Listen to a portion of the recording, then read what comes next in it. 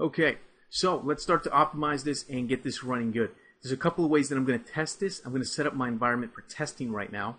Um, I'm in a 2x3 layout right now inside of Unity. What I want to do is a few changes here. Right now, my screen resolution on this workstation is um, is 1920 by 1080.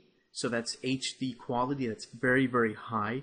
Um, a lot of games that run on a 360 and on a PS3, you know, next gen games um, run at 720p. Some of them run at 1080i, and some run at 1020, uh, 1080p. I'm going to try to get the best performance I can. Um, I want to get this game right now to run at HD 1080. Uh, 1080 is a very high resolution. It's pretty tough to render out at 1080. So we're going to try to optimize this using some techniques and get this to run good at 1080 as well as 720. Okay. So the way I'm going to do that is, first of all, I'm going to hit the maximize on play button. What that's going to do is when I hit the play button, this uh, this game window is not going to stay in the lower left of the interface. It's going to maximize and get really big.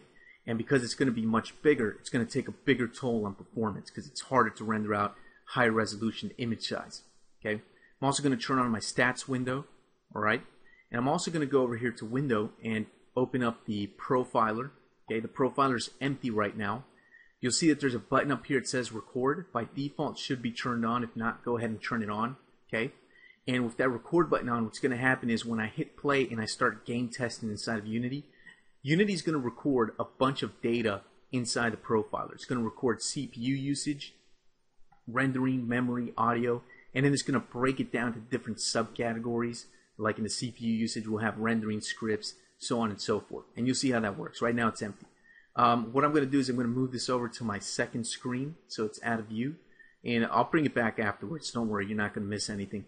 Okay, uh, so now that I'm ready, I'm going to hit the play button. Unity's going to go ahead and load this up and it's going to maximize it. So now you can see it's taking up bigger room. You can see in the statistics window, uh, I'm getting about 20, 30 frames a second. It's kind of fluctuating between those.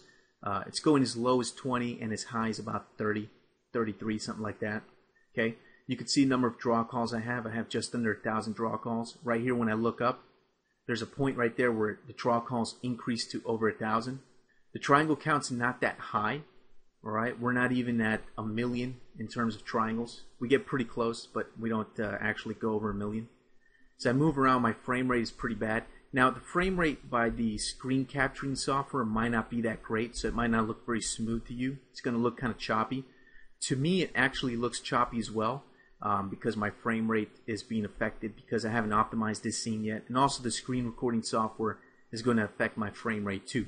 Okay, so if I turn off the screen recording software, um, my frame rate will actually increase by a little bit. But by the same token, you won't be able to see uh, what I'm doing. So obviously I have to have that on. Frame rate seems to stay pretty stable between the 20 and 30 range which is not that great. I think I want to get this higher. And right now you can see the screen resolution in that stats window um, is 1920 by 950 with 2x anti-aliasing. Okay, I'm going to stop the play, uh, the game test here. All right, let me bring out the profiler back over here. And we can see the profiler recorded a lot of data. As we move in the timeline here, it recorded about 2,260 frames. And as we move this slider around, we can see at different times the uh, the recording and the different stats. Okay, so let me actually make this a little bit bigger here. So this is everything that recorded. So we get these graphs, we get these line graphs and charts and things like that. If we look at CPU usage over here, we can see that the green represented by rendering, we have a lot of green. So a lot of the CPU usage was used for actually rendering out the scene. Very little was used for scripts. We don't really have any scripts here, not many. Uh, we don't really have physics, so you can see that there's no yellows and others are represented by blue. Um, down under rendering, we have red is draw calls, green is triangles, and blue is vertices. Okay, we can see that at the beginning inside the warehouse we spiked up pretty high, then it got lower. I'm, I'm guessing that's when I went outside. So the inside of the warehouse is what's using up the most resources. We can see here the draw calls uh, peaked at this point over here. So we had a lot of draw calls. Um, triangle count wasn't too bad. If we look at memory, we can see the total memories in red, texture memory is being used by green, and the object count is being used by blue. Remember what I said about combining objects? The more objects you have combined, the lower this object count is going to be. So if you notice that the blue is um, abnormally high, probably means that you need to take that object count and lower it. Um, combining objects will work out well. You can't combine objects inside of Unity itself. This has to be done in your 3D content creation package, such as 3ds Max, Softimage, or Maya, or whatever package you're using. It can't be done inside of Unity. Okay. Now the texture memory is being used up by the textures. Um, if you have higher res textures, you're going to use up more texture memory. If you have a lot of textures, you're going to use up more texture memory. So if your texture memory is getting too high, in this case, it's not too bad. Uh, but if it's getting too high to lower the texture memory, you're going to have to lower the texture resolution of some of your textures and use less textures, of course. Audio, we're actually not working with audio um, at any point in this tutorial, so this is going to be relevant for me. But if I was working with audio, you can get some audio stats over here. Um, so the main thing I'm looking at is things like CPU usage, rendering, and memory. If I look at CPU usage and select it over here, you get the, the breakdown down here in this uh, window, okay? And I can expand some of this stuff out. So you can see that 96.5% uh, of the total uh, rendering power, CPU usage, was used up by the camera render over here. So if I expand that, I can see that drawing took up 86%. Uh, image effects only used up less than 10%. Image effects, remember those? Things like um, color correction, um, motion blur, stuff like that. Culling used very little, pretty much insignificant. So the biggest thing is being used up by drawing. So if I expand that out, I can see what's going on here. Uh, opaque geometry, for example, is using up 85%. The skybox is barely using anything up. That doesn't take up much resources.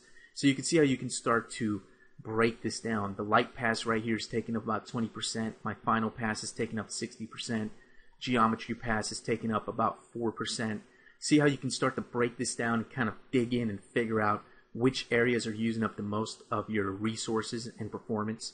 If I click on rendering, you can see a breakdown here of rendering. Same stuff we saw in the statistics window. If we look at memory, uh, we can see the memory that's being used here. Textures, we have a thousand and one textures. That's a lot of textures. I'm using a lot of alpha maps, specular maps, height maps, bump maps, fuse maps.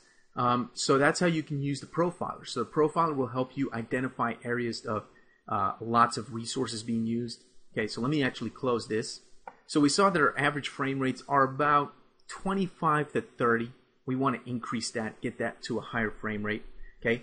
Now, how can we start doing that? The way that we can start doing that is to come into our scene and start to optimize.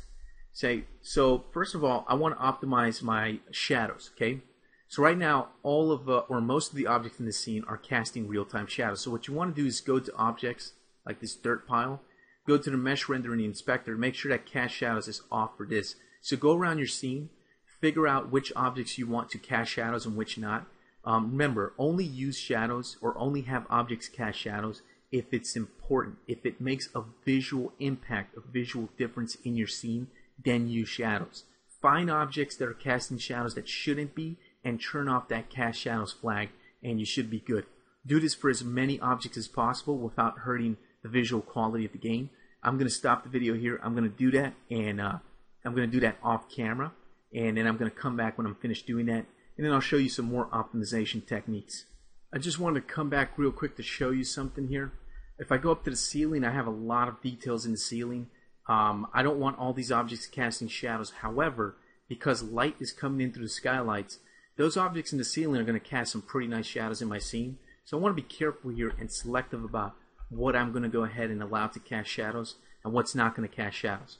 So for example, if I have this object up here, what you can see is this kind of railing support that goes up there, okay, and I have shadows on, I don't see a difference, so I'm going to turn shadows off. However, there's another railing support, this one right here, and that one is actually interacting with the light in the scene. So if I have shadows on, you can see that I have these shadows down here. If I turn them off, they go away. Now I have to make a judgment call here. Is it worth it to take a performance hit to have these shadows, or should I save my performance and sacrifice those shadows. My, uh, for me, I'm going to decide to not cast shadows on that simply because I don't consider it to be important. It doesn't really have a visual impact on my scene, uh, at least not a considerable one. So if I go to this other support uh, over here and I turn shadows off for that, you'll notice that these really nice shadows that were over here disappear. Okay, so if I turn it on, I have these really cool shadows right there. I like that. So you got to be selective about what's going to be casting shadows and what's not. So something that's not important, like that support beam right there, that doesn't make a difference. So I'll stop casting shadows for that. This one on the inside as well. These cross sections that go kind of horizontally across the ceiling, those are important as well. Um, if I take shadows off there, you can see those shadows disappear. I like those shadows, so I'm going to keep them. However, we can see that there's cross sections over here on this dark side, which is not going to make a difference, so I'll turn off shadows for that. Turn off shadows for these guys. These guys, um, let me see if that's going to make a difference. Yes, it does, so I'm going to keep those shadows. But this guy in the corner over here in the dark area, we don't need it to cast shadows, so that goes away. And this one, same deal, not important. Get rid of the shadows. These cables that are kind of hanging from the ceiling here, uh, some of these cables are actually creating uh, pretty nice shadows.